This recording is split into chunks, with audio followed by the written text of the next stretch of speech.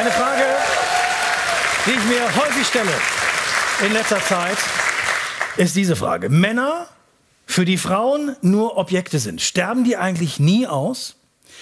Gut, in diesem Zusammenhang muss man Silvio Berlusconi loben, der immerhin mal einen Anfang gemacht hat. Ja, das ist das erste Mal, dass ich Silvio Berlusconi lobe. Bei Rammstein ist man noch nicht so weit.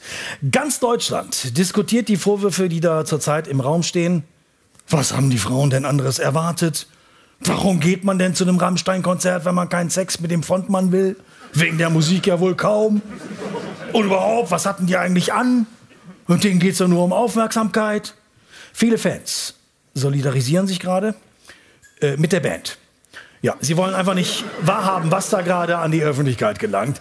Die sympathische deutsche Kuschelband Rammstein, das kann doch alles nicht wahr sein. Es ist ja einer der wenigen Exportartikel, für die wir in der ganzen Welt noch bekannt sind. Rammstein kennt jeder. Rammstein wurde geliebt, weil die ganze Welt sich fragen konnte, die Deutschen.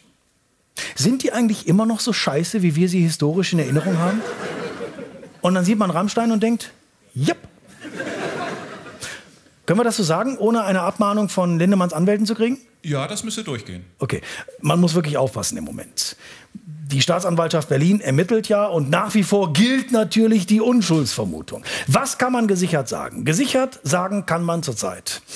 Rammstein-Sänger Till Lindemann ist ein Mann, der aussieht wie ein Sparkassenangestellter, der versehentlich in die Welt von Game of Thrones geraten ist auch so textet. Ja, Lindemann gilt ja vielen als großer Dichter.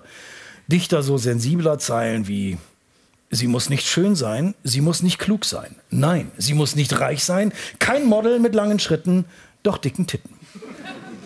Der ehrwürdige Heinrich Böll Verlag, Kiepenheuer und Witsch, hat die Lyrik von Lindemann veröffentlicht, unter anderem Vergewaltigungsfantasien unter Einsatz von K.O.-Tropfen. Inzwischen hat sich der Verlag von Lindemann getrennt, mit sofortiger Wirkung, nach zehn Jahren Zusammenarbeit. Offenbar hat jetzt mal jemand das Zeug gelesen und gesagt, Moment mal, Tagebücher passen doch gar nicht in unser Verlagsprogramm. Und auf diesen Couches saßen dann Mädchen, so acht Mädchen, alle so nebeneinander aufgereiht. Manche von denen waren auch wirklich so ein bisschen äh, benommen. Die haben nicht gewirkt, als wären die da. Ich wurde hierher geholt, nur aus dem Grund, weil er vielleicht Bock hätte, mich zu ficken. Und es gibt immer noch Leute, die sagen, ja, das ist eben Rock'n'Roll. Rock'n'Roll ist ebenso. Wenn das Rock'n'Roll ist, dann habe ich kein Problem damit, für den Rest meines Lebens nur noch Rolf Zukowski zu hören. Rammstein hat dann reagiert. Die Frau, die die jungen Zuschauerinnen für Lindemann gecastet hat, wurde gefeuert.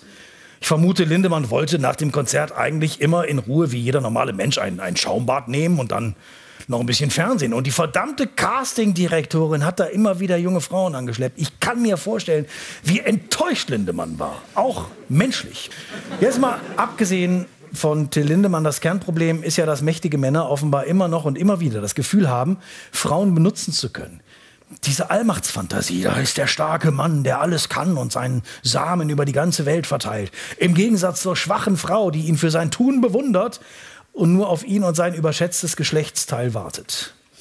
Eine absurde Vorstellung, aber sie scheint erschreckenderweise weit verbreitet zu sein.